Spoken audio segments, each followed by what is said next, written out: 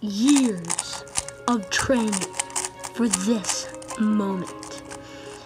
You've been training for your whole life for this moment right here. You you suck. What the heck? Five minutes. Five minutes?